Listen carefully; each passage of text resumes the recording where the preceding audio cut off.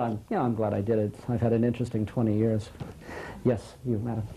Yeah, um, I'm curious to know what effect you think um, the, the, uh, an aspect of the environmental movement of an intentional primitivism and going back to direct experience in nature has, how will that inform this electronic Disney culture?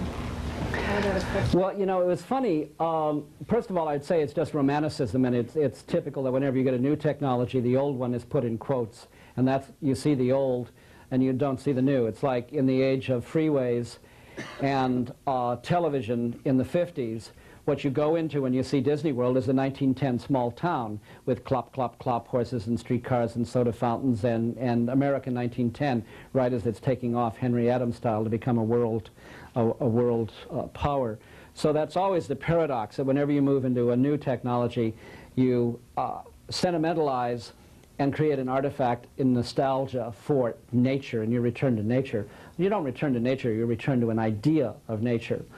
So what happened in the, in the 70s, everybody returned to nature in utopian communities, but they became very regressive and sort of got exploded because infantile dynamics of the nuclear family got projected onto the, the mother, mom and pop who were ever in charge of the community.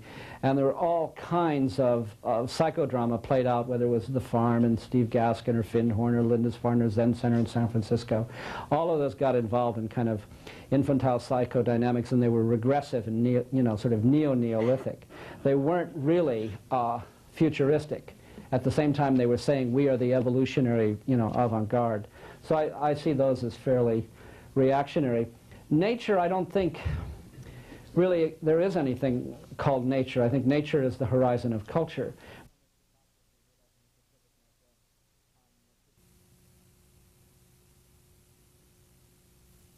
When we say nature, we see Sierra Club, uh, you know, pictures, Eliot Porter, which come from Constable and Corot in Gainsborough and come from the Gentleman's Park, which gave us Olmsted Central Park in the middle of New York. That's an idea of nature. We don't think of toxic dumps in New Jersey. But I mean, if you got down to the molecular level and you danced with the electrical sound and light show of a toxic dump in New Jersey, it could be the most beautiful thing you'd ever experience. But it's not in our horizon of what we want to call natural. Or if you got out to supernovas or colliding galaxies, it would be so horrendously unnatural and terrifying that we wouldn't want to call it natural. So nature is our horizon. We like mammals better than cockroaches, things of this sort. And so when we go back to nature, we don't think of going to cockroaches in Manhattan. We think of going to the Rockies in Colorado, which is course what I did. Yes, sir, you have no chance. Will you please define Ahrimanic technology and any examples, like was that Lindisfarne project of the biosphere on St. John, something like that? No, Ahrimanic is a special thing that um, it's a mythological system that Steiner's developed. I, uh, it's a sort of dialectic in which the Christ is in the middle as the mediation of two opposites, the collectivization and non-individuation of Ahriman, which is a kind of demonic, devilish figure, and the exaltation of the individual to cosmic, uh, solipsistic, autistic forms, like in Milton's Paradise Lost, Lucifer says, one step further makes me highest. And so the, the notion that you can be a self uh, escaping into ecstasy is the Luciferic dimension, and the other where everything is Stalinistically compressed into no individuality in the Ahrimanic. And for him, the mediation of the myth of, in Western culture of individuation is the Christ. And he did a sculpture in, in um, Dornach in which uh, Ahriman and Lucifer are wrestling with the Christ. It's a, it's a whole mythological trope that Steiner has developed in his... And there is a book uh, called Lucifer and Ahriman of lectures that he gave in Bern in about 1906.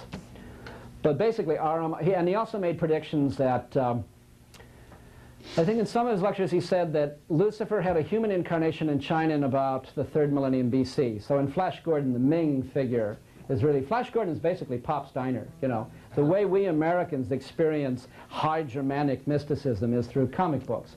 And so if you did a cultural history of The Wizard of Oz and Flash Gordon and Superman and um, Captain Marvel and the Fabulous Four, which is another version of the subtle bodies, the, the Fantastic Four is the subtle body architecture, you could, um, you could show how America took the European high culture and democratized it through the comic book and made smuggled in through customs mysticism in comic book form. That's part of our kind of genius, and now we do it in movies, but it's, uh, it's, it has deep roots. The Wizard of Oz is just totally an esoteric allegory of individuation and the subtle bodies.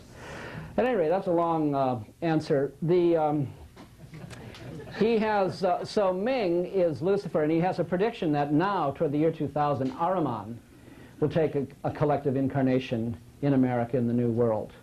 And so you'll find Steiner people who hate electronics, and when they raise their kids say, you can't have stereos, you shouldn't watch television, that television and stereos are evil, no computers, you know. Uh, so there, it's a intense battleground of good and evil. How are we doing for time? You should pull the plug whenever you want to. I'll go on all night. I mean, you know. Five minutes, okay.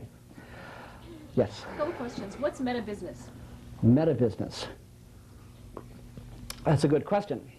It's so good a question, I don't have a fast answer for it, uh, which shows it's really a good question. Um, when you say meta business, what I, what I tend to think of is Laurance Rockefeller, who is this uh, meta businessman who's funded the whole alternative movement and created na- you know, national parks and all over the country and Buddhist monasteries and has this kind of like a Renaissance prince. He's almost like sort of the way the Medicis were to uh, Ficino in, in Renaissance Florence. So that the purpose of, of amassing capital is not to amass capital, but to empower a civilizational vision, you know. And so uh, ordinary business is just make a buck, quarterly report, wealth. Uh, meta business is empowering a vision where, where the amassing of capital is for another, another purpose. That, that would be a, a tentative answer to a... I think America's trying to figure out and embody, and they, the yuppie generation in the 80s uh, were sort of mini business, you know, and it got to be really very tight focus of wealth. And now it seems, you know, it's like the 70s were sort of flipped out, spacey, and ungrounded. And the 80s were ground and no space, you know. It was, it was Dynasty in Dallas and we had Star Trek.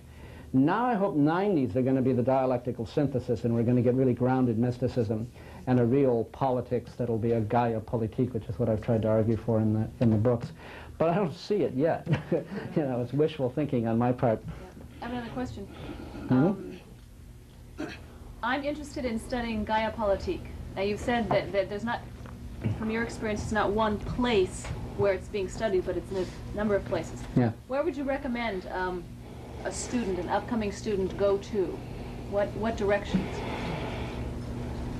Well, the way I've tried to, um, let's say, be a teacher of Gaia Politique is not to do it in a university, but to do it uh, in the cathedral at the edge of Columbia in the ghetto in, uh, in Spanish Harlem in uh, New York at 110th and Amsterdam Avenue, because that gives me a moire pattern of overlapping domains that are academic and uh, religious and economic, so that I'm forced to deal with kind of funky things of the homeless and uh, problems that I wouldn't have at, at MIT when I was a professor uh, in uh, St. John the Divine. And so there have been uh, there have been classes and, and uh, what should we say, symposiums and concerts of ideas on the political implications of Gaia, for example, that we had at St. John the Divine in 1985, in which Lynn Margulis and Lovelock and, and all the people came and explored the political implications, and that's what, what, that's what that became. So that's where I do it. There, but there are, you know, the Eco Party, there are, there are various groups in Berlin and in Germany, although that's gotten very fragmentary now. Uh, it's kind of spread out. I can't think of any one particular place where I could say that's where you'll, you'll find it all together. Yes, sir?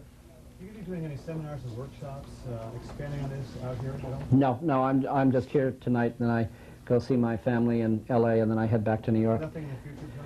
No, I'm getting tired of travel, so most of my teaching is, is at St. John the Divine, and so that's where I really hang out and, and give a, a, a seminar. But it's a class, you know, it's not like with grades or papers, it's just, you know, very much sort of like this, you know, except the people come for a month.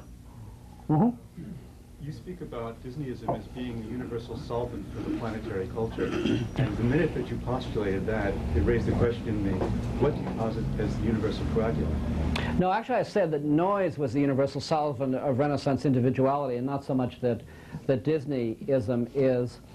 Um, I think the, the importance of the